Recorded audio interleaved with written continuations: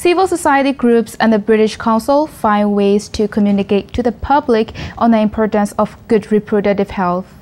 And although such topic is not discussed very openly among communities, this campaign appears to be quite effective. Sumya Yadana reports.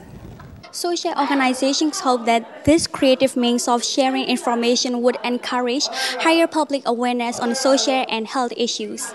Since the program was launched in 2011, theoretical human drama has been performed to over 28,000 people. As part of effort for community development, more than 300 forum theaters were organized so far, notably in Rangoon and other townships such as Mawlamyine, Pa'an, Kawhmu, and Dawei. It's planned to do it in Kachin State this year. Reproductive health is one of the prioritized subjects that organizations would like to focus on. A lack of knowledge and opportunity for open discussions in many communities lead to problems among families, such as early marriage and high infant mortality rates. Illegal abortion of the pregnancy out of marriage triggers high mortality rate among women. The lack of the proper knowledge during pregnancy also causes death such cases are commonly found in Shwe and Hlaing townships.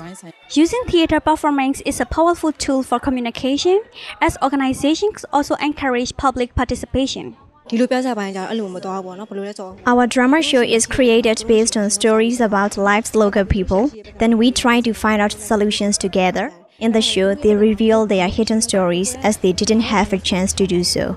Their actions are really touching we expect there to be a substantial decrease. By that, I mean a 20% decrease. That's already quite high in development terms. And in some places, we get as high as 60% of people change their attitude, change their behavior. 60% decrease actually happens. Now, possibly not just from one performance, but if we do a performance, then we go back again, one month later, do a second performance, then one month later, do a third performance. People do start to think.